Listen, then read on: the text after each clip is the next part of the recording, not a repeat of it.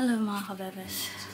It's that time of the month na kami po ay trying hard na naman. Hindi naman trying hard, feeler. One-step urine test. So, ito na naman kami. Ah, anong ilang days ka na ba ano? Delayed. Delayed. Five. Five Fifth days day na ako. today. Oo, fifth day ko today na delayed ako. Pero, irregular kasi ako at talagang normal sa akin na delayed ako. Lord, we pray na pregnant. And it's twins. In Jesus name, amen.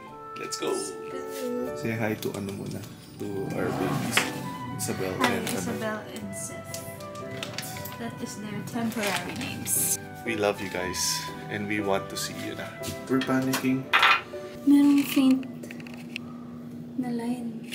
So, hindi namin sure kung is that a yes? Sheesh, first time namin magkaroon ng faint na line. Hindi ko alam mararamdaman ko. Nahihilo ko. Nahihilo ko. Sheesh, meron meron ata. Nahihilo ko. Bebe. Hindi ko alam, hindi ko alam kung maiiyak ako o matatawa ako or hindi ko talaga, hindi ako makaiyak ng buo kasi faint line lang kasi. Eh, ano? So, bukas ulit pagising. Bakit bukas ulit? Kasi parang ang pinaka legit or clear, yung paggising mo sa umaga, yun yung ihi na talagang sure ball, ganun. Um, pero guys, look at that. Hi guys! Today is the next day. Kakagising ko lang at ako ay nag-test ulit and it's still a yes! Yan. It's still a yes. So ngayon ay nahihintay ko lang si Kevin dahil umalis siya pero we'll get ready dahil maghahanap tayo ng OB. Dahil wala talaga kami OB. Hello! pregnancy update. Lumabas na yung result ng test at um, check up kami nung isang araw. Tapos, nag-transvaginal ultrasound, ganyan. Pero walang nakita. Too early pa daw. Pero kasalanan naman namin kasi sinikret namin eh. So, wala kaming pinagtanungan. So, wala kaming idea paano namin ina-navigate yung mga nangyayari sa buhay namin. Nagdesisyon lang kami, sige, hanap tayo OB online. Okay, sige, sige, punta na. Pero ewan ko kung too early lang ba talaga sa akin or usually ba may nakikita ba talaga pagka too early. Pero lumabas na yung result. Tinanong ko rin si Doc Jen of Narvaez Clinic. Sobrang helpful ni As Doc in, pa- Jen. para siyang ano, para siyang nanay. Oo. Na-realize din nga namin, sobrang okay talaga na meron ka talagang OB at may relationship ka with your OB. Sinad ko sa kanya yung result. Sabi niya ay good naman daw yun na makapal yung lining ng endometrium. Wow! So, mas may chance ng pregnancy. Ngayon, inisip namin kung lalaki ba, kung pangalan ba niya Seth. Tapos yung waiter dito, pangalan Seth niya Seth. pangalan. Pagpunta namin dito, nag-aalangan pa kami kung buntis kami. Like, kasi nga, dahil too early pa, tapos wala namang nakita sa ultrasound. Parang medyo, meron pa rin, parang half-half pa rin, kahit nag-positive na sa pregnancy test na urine. So, depende pa daw yun kung magde-develop yung mga something-something. That is update for today.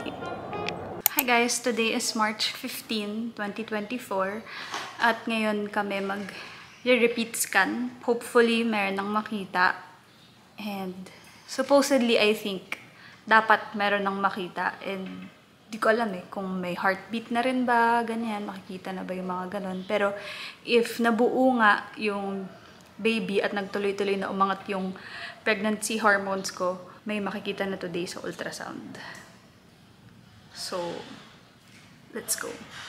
We are here. Let's go! Yung mga times na naghihintay kami.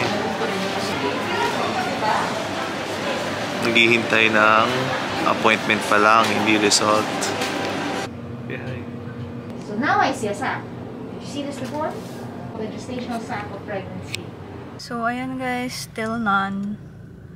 Wala pa rin nakita. I mean, may nakita, gestational sac. Which is good kasi dun ata yung bata eh. At may nakita pala na super liit na dot. Meron ba? Oo. Parang sabi niya, yun Chicken? daw, Oo, parang most probable, parang siyang yolk, ganun, ng egg. Pero wala pa rin naman yun. At di naman niya ako pressure kasi daw yung size ng kineso, 1.66. Kung 2 na yung size, dapat daw meron na. Pero 1.66, so safe pa naman. So it's good. Good pa naman. So, yan. Hintay ulit. two Hintay ulit weeks. tayo. Baka 2 weeks na naman ulit. Hi guys! Today is March 26.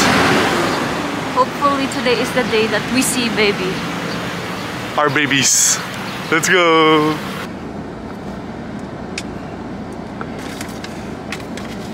Guys, di kasi pwede mag-video kanina. But,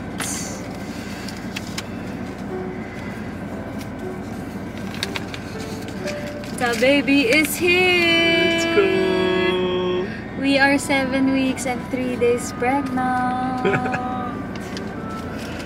Ang saya. Ito siya, no? Hmm. So, okay naman daw everything. Kanina, hindi ko na mapigil yung iyak ko. Sabi ko, pwede po ba ako umiyak? Kasi nakakaya pag bigla na lang akong lumuha doon out of.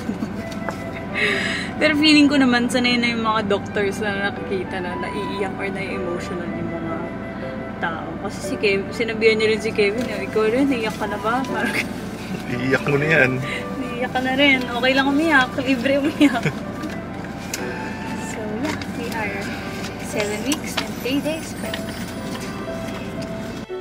It was the longest one month we had to go through. We didn't want to assume or celebrate anything right away, but after days and weeks of waiting, we were finally sure we were having a baby. And now, we're four months pregnant. If you're still here watching this video, please keep us in your prayers. You're expecting parents, Kevin and Joyce.